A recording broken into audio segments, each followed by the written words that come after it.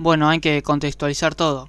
Esto va a ser parte de un nuevo formato que se llama Entrevistando a... Y bueno, eh, ahora se nos dio la, nuestra primera oportunidad de entrevistar a jugadores de la sexta división de patronato, como son Nacho Sosa y Tiago Morales. Que no voy a dar más detalles porque lo van a escuchar en la entrevista. Pero ya agradecer a los jugadores y agradecer a Agustín Leiva que me acompañó a hacer la entrevista. Así que bueno, sin más nada que decir, eh, vamos con. Vamos de viaje a la casa de ellos para ver lo que charlamos con ellos. Bueno, che, eh, vamos a hacer la entrevista ahora. A Ignacio y a Tiago. Y a, Tiago. bueno, se van a presentar ahora. preséntese más o menos cómo es su nombre eh, y en qué posición juegan. Eh, bueno, buenas tardes. Mi nombre es Ignacio Sosa. yo juego de lateral izquierdo y juego en la sexta división del Club Patronato. Bueno, yo soy Tiago Morales, juego de 5 y enganche. Y bueno, nada. También en la sexta división, jugamos juntos, Sí, jugamos juntos. Cuéntenme, ¿ustedes de qué ciudad son? Eh, bueno, yo, yo nací en Córdoba, en, en la zona de Punilla, y, estuve viviendo mucho tiempo en Carlos Paz. Yo soy de Buenos Aires, eh, nací en la provincia de Buenos Aires y hace ya siete años, a siete años, no contando este año, este, estaba viviendo en, Córdoba. Más o menos, ¿cómo llegaron acá a Patronato? ¿Qué contaba? ¿Cuánto Van a contar de vuelta, pero bueno. Eh, eh, fue, fue todo por un tema de, mi viejo que había jugado, ya había jugado en patronato hace mucho tiempo. Le habían quedado muchos amigos acá y, y sí o sí necesitamos como despegar del club donde estábamos porque sentíamos que no, no, íbamos a, llegar a algo si es lo que queríamos llegar a ser futbolistas. ¿A dónde jugaban? En Club Atlético Las Palmas. es tipo una filial de Belgrano. Es un club ah, acá en Córdoba muy reconocido, tiene muy buenas inferiores y ahí es la humildad. Eh, ahí es un club humilde. Es un, histórico del ascenso de Las Palmas. Las Palmas, sí, pelea siempre. en el Federal A eso o no? Eh, estuvo en el Federal A. Federal Regional, sería Claro, y ahora está en el Regional. Y bueno, nada, de ahí, como dijo acá Tiago, eh, nosotros queríamos dar el salto. y bueno, justo se dio la casualidad de que había una prueba. y hablaron y nosotros lo charlamos, lo charlamos porque sabíamos que si nosotros quedábamos, eh, no íbamos a tener que ir de casa. Y bueno, gracias a Dios estuvimos de acuerdo, vinimos, hicimos la prueba y, quedamos. Y la felicidad fue inmensa. Ah, y ahí al otro año, eso fue el 5 de noviembre, y al otro año arrancamos con el plantel. Es muy grande el salto pasar, eh, no sé que estaban jugando en reserva, tengo entendido, eh, en reserva de Las Palmas, a sexta de patronato, que ya es Superliga, ya es otra cosa y te enfrentas contra el Es muy diferente el, ritmo que se maneja. El ritmo que se maneja ya es completamente diferente. Nosotros estamos acostumbrados a un ritmo de que el cual acá lo tuvimos que cambiar completamente al 100 y nos tuvimos que acostumbrar eh, muy rápido a lo que es el ritmo de, de AFA, porque es algo muy otro, nivel ya. Eh, es, intenso, pero es, muy lindo. Hoy, hoy estando acá, eh, te das cuenta del ritmo que maneja la Superliga y el nivel AFA. Que como dice acá Tiago, eh, es muy diferente al de la Liga de Córdoba o de muchas ligas que son del interior. da que allá es mucho el juego de más lento, los corrimientos. No se corre tanto. Es más, corre la pelota y acá es correr, meter. Todo el tiempo, Es todo. Allá tenés, que tenés dos segundos para pensarla. Acá no tenés, no, tenés tiempo. Acá ya te tiene que venir la pelota y ya tenés que saber dónde la vas a poner porque te comen. Te comen. Eh, es así, es un ritmo muy, muy intenso. Si no, si no, no estás acostumbrado. O no estás preparado físicamente, porque hoy en día el fútbol es. El, físico. eh, todo lo otro lo vas mejorando, vas puliendo, pero hoy en día si no estás físicamente preparado, eh, no puedes jugar a, al ritmo o a nivel AFA. Y los rivales capaz que también influyen mucho, porque no es lo mismo enfrentarse a un rival de la Liga Cordobesa que Boca, River, bueno, hace poco se enfrentaron a Atlético Tucumán. lo, más reciente es Atlético Tucumán, pero lo que es, eh, hay fuertes en, en, AFA y el último que nos ha tocado fue Newell y tiene una intensidad muy, muy potente. La intensidad que tiene Newell es terrible. Eh, nosotros este, en este año ahora pudimos, tuvimos la suerte de poder enfrentarnos a varios equipos de, a nivel AFA, que era la primera vez. Y como dice Tiago, el equipo que más me sorprendió fue Newell. Ni Boca ni River, Newell. No, no, no. Boca y River manejan, pero hasta ahí nomás. Nosotros River le ganamos. Con Boca le pudimos haber ganado, pero nos mandamos varios, es fútbol. varios errores.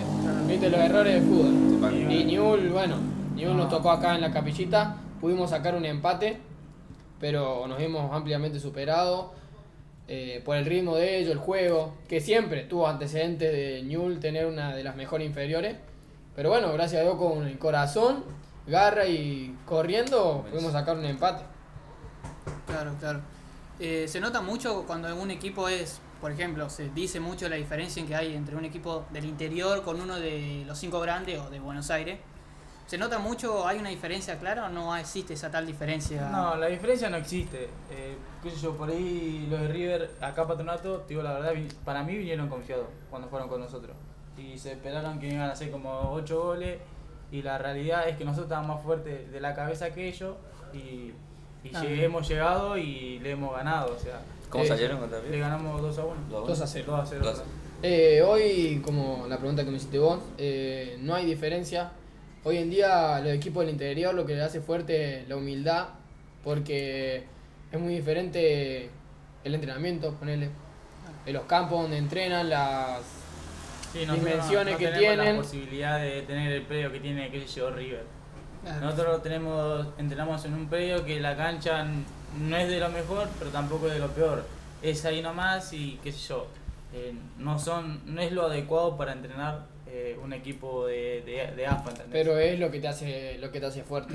es lo que te da ganas de, de correr en un partido, meter eh, y todo, todo, no, no hay diferencia. En el fútbol hoy en día se equiparó todo. Hoy, hoy, claramente poner en la Copa Argentina un ejemplo, un equipo del interior le puede ganar un equipo de primera tranquilamente cuando antes se enfrentaba a River contra un equipo del interior y sabía que claramente iba a ganar. Sí, eso, si no va a ser la de Crucero del Norte, cuando estaba en primera que tenía el pasto a 5 centímetros, cosa de que nadie... Eso son cosas que... eso es un hito. Bien, eh, yo quería preguntarle más en, a cada uno, por ejemplo vos Nacho, ¿vos siempre fuiste lateral izquierdo o sos un lateral izquierdo, eh, un volante izquierdo reconvertido, un central reconvertido? Porque viste que no hay tantos laterales naturales, no sé si en Argentina no sé si solamente en Argentina, pero viste que en la mayoría de los. Cuenta que, salga, que salgan buenos Claro, están los casos de Buffarini, que es un volante. Bueno, Talafico es un central, Acuña es un volante. Bueno, eh, yo cuando yo entré a jugar en el club allá, jugaba de lateral izquierdo. Eh, pero sí, jugué de volante por izquierda. Hasta acá en Patronato he jugado de volante por izquierda. Que muchas veces por X motivos habían lesionado o, algún otro inconveniente y estuve a disposición de jugar de lateral izquierdo. Hasta me han dicho si quería jugar de 4 en algunos momentos cuando había problemas eh, por el tema de los jugadores. Y yo hoy juego donde el técnico me. Es que hoy en día un jugador que te dice eh, yo no puedo jugar de esto y solamente juego de esto, hoy en día no sirve mucho. Hoy si no sabes jugar, hoy, hoy si jugás de 5 tenés que saber jugar de central, de volante por izquierda, de enganche, de 4, de 3 por más que sea zurdo, en mi caso, que me toca ser número 5, eh, muchas veces ya he, jugado de central, he jugado de volante por izquierda, he jugado de volante por derecha, de enganche. Es algo que si, no lo sabes manejar es complicado y más para la posición que yo manejo. Que yo, por ahí Nacho eh, ha jugado muchas veces volante, lo ha hecho bien y, y más de una vez ha jugado de central. Allá en Córdoba muchas veces ha jugado de central y, Acá nunca me tocó, por suerte. Pero bueno, sí, sí, también los dos somos zurdos. Pero yo, donde pueda ayudar y, a, y sumarle al equipo, voy a hacerlo. Es así. Claro, capaz que el zurdo normalmente siempre lo meten de lateral izquierdo. Claro.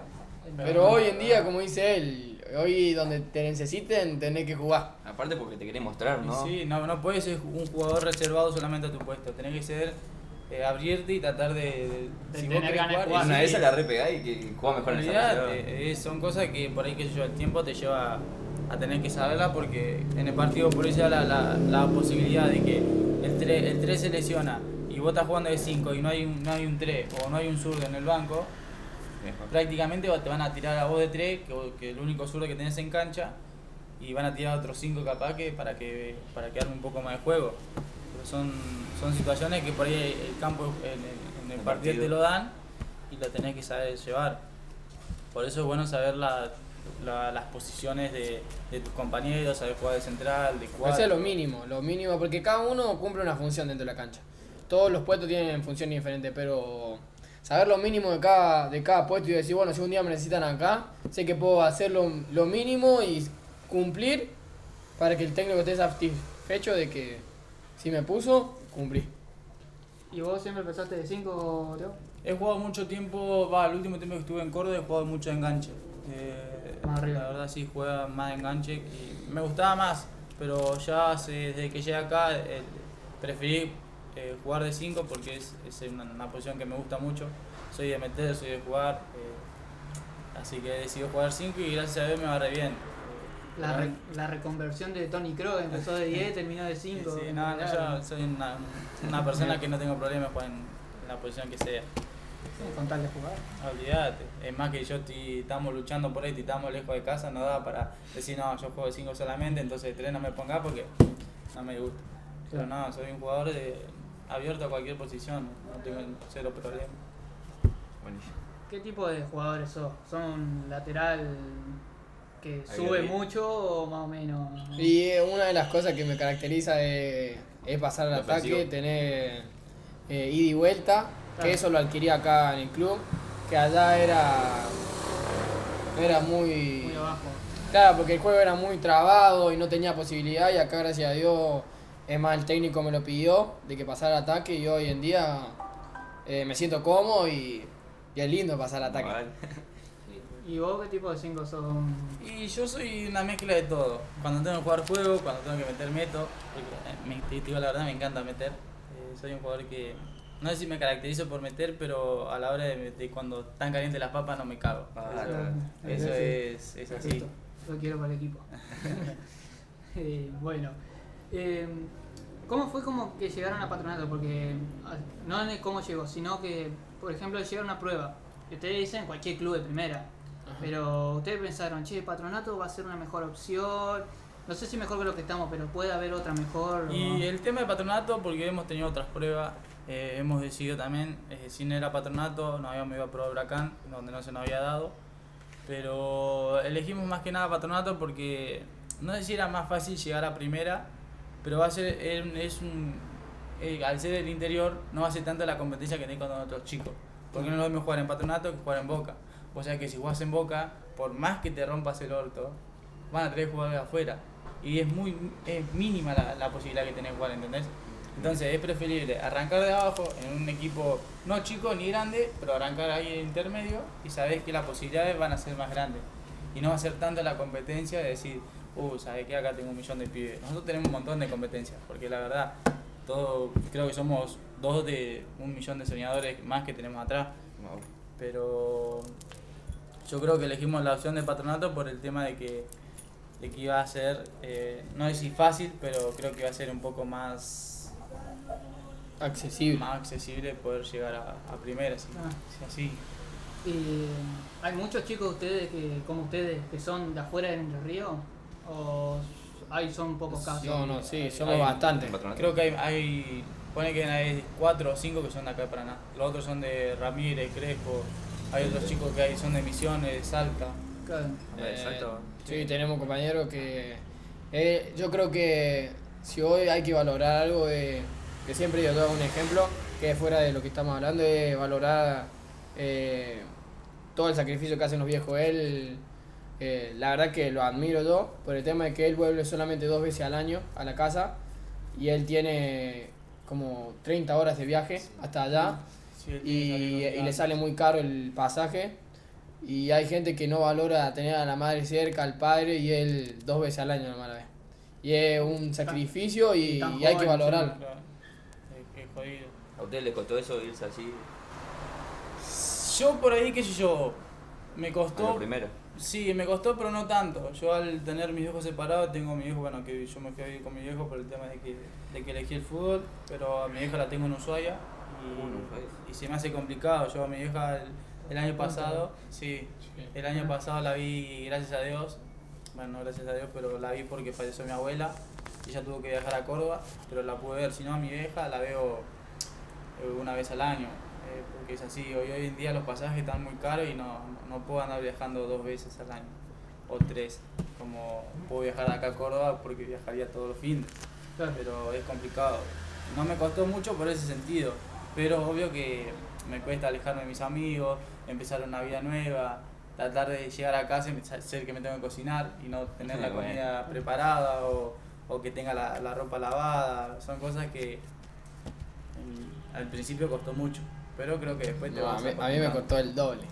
A mí me costó mucho, yo allá, eh, yo cuando vivía allá, bueno, viví un año y medio con mi viejo separado, pero yo antes con mi viejo junto tenía todo, o sea, tipo, eh, tenía a mi viejo que trabajaba y mamá que hacía todo en la casa.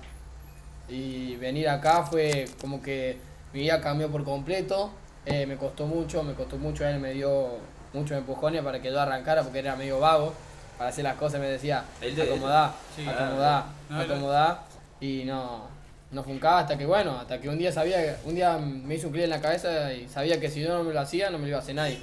Como dice él, cuesta mucho el tema de llegar a casa, saber que hay que limpiar, porque si no limpia vos no te limpia nadie, si no te cocina vos no te va a cocinar nadie, si no te lava la ropa no te la a nadie. Y es llegar y...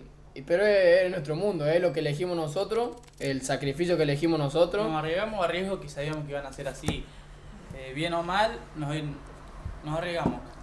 Bien, no sabíamos si iba a salir. Mal tampoco, pero decidimos tomar el riesgo. Decir, bueno, vamos a enfrentar esto, lo podemos enfrentar juntos. Gracias a Dios, somos amigos hace 6 años. O sea, ya no siete. La tiene la ventaja se vinieron las dos. Claro. Uno sin el solo. ¿Entendés? Y eso creo que fue un poco más que nos ayudó a ambos a, a poder superar, qué sé yo, extrañar a la familia, eh, un montón de cosas. Extrañar a los que- amigos, sí. saber de que yo que se te pintaba el bajón, porque así, a veces te pinta el bajón de decir, oh, no tengo a mi mamá acá para tomar un mate, para darle un abrazo, para pelear con mis hermanos.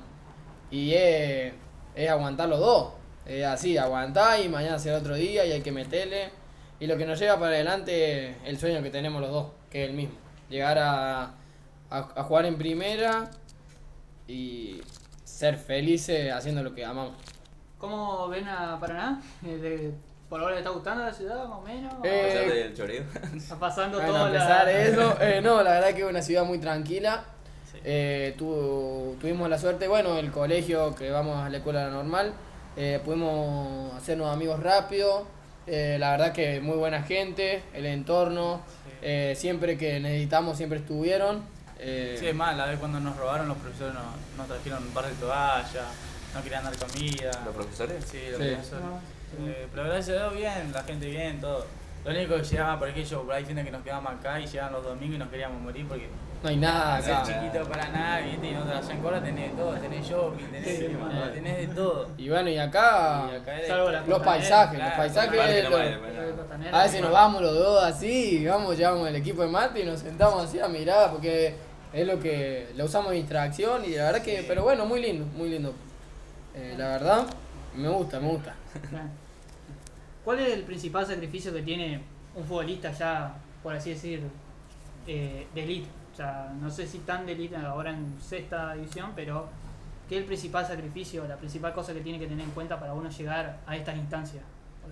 Eh, creo que la convicción, eh, saber de que, que es lo, que esto es lo que querés y no salirte de- del camino, eh, la responsabilidad, el saber de que tenés que entrenar, entrenar, eh, que va a haber momentos buenos y malos, el futbolista sabe que va a haber momentos buenos y malos, momentos en el que va a decir que tenés la primera y no más, y momentos en el que va a querer tirar todo abajo, pero es cuestión de tener la cabeza fuerte y seguir entrenando, seguir entrenando, porque es así, el futbolista va a tener buena y mala, es un sub y baja. Yo creo que para eso también, eh, para estar, sé yo, para tener, para ser fuerte la cabeza, todo eso, creo que lo fundamental es el apoyo de la familia. Eh, creo que ahí, la otra vez tuvimos una charla con, la, con jugadores de primera y, era prácticamente lo mismo que a nosotros nos pasa. creo que, y lo hablaban todos, y, y entre, llegué a tomar que en un principio lo, lo fundamental para llegar o para lograr algo es tener el apoyo de la familia. Creo que si no tenés el apoyo de tu familia, creo que se te hace muy complicado. Más que nada en, en el tema de que, de que te manden un mensaje para ver cómo están, que se preocupen por vos. Porque no cualquiera se va a preocupar por vos, ¿entendés? Y creo que eso es, es algo que, que ellos por ahí te levantan, que te manden un mensaje y te digan, va a estar todo bien, además de la distancia. ¿Cómo te fue? Y así, Claro, todas esas cosas. que, se preocupen por vos, sí, eso eso- es lo que te mejor. suma. Yo, bueno, ahí Tiago lo dijo, pero es así. La familia creo que es lo fundamental. Hoy en día, también en la vida, en un estudio, como ustedes que están estudiando, yo creo que el apoyo de la familia es fundamental, porque capaz que te da mal una materia y tú te dicen, dale, dale, seguí que la próxima te va a ir bien.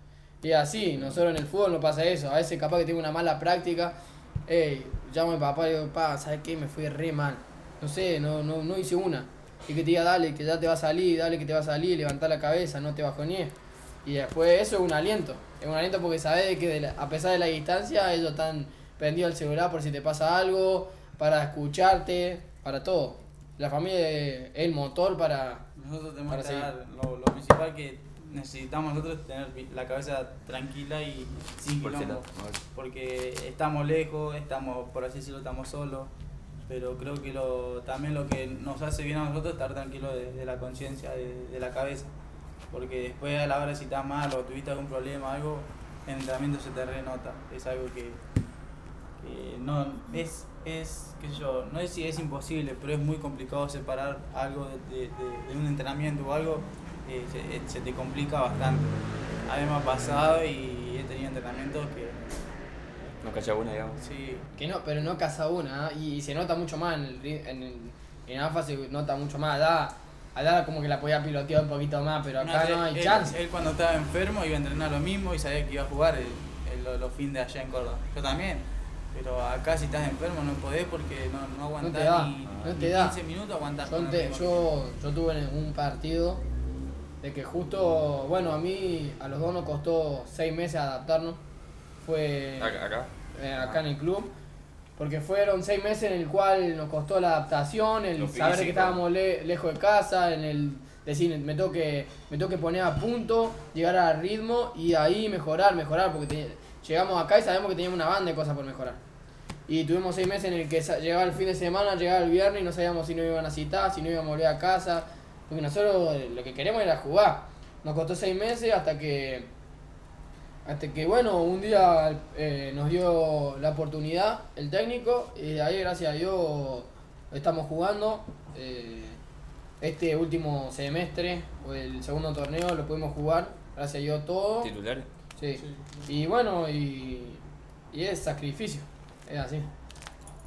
Bueno chicos, le agradezco la entrevista eh, por este espacio de, no, dijimos que no iba a durar 20 minutos, más de 20 minutos, vamos 22, pero desde ya muchas gracias por el espacio. No, no Bueno, es gracias a ustedes por Muchas venir y Fue como primeros- una primera entrevista, ¿no? La primera entrevista. Ya vamos a empezar bueno, algo. Vamos, a empezar como el Diego Maradona, que es hijo de mi primer sueño jugar mundial, así que. Así que bueno, muchas gracias. ¿ah? no.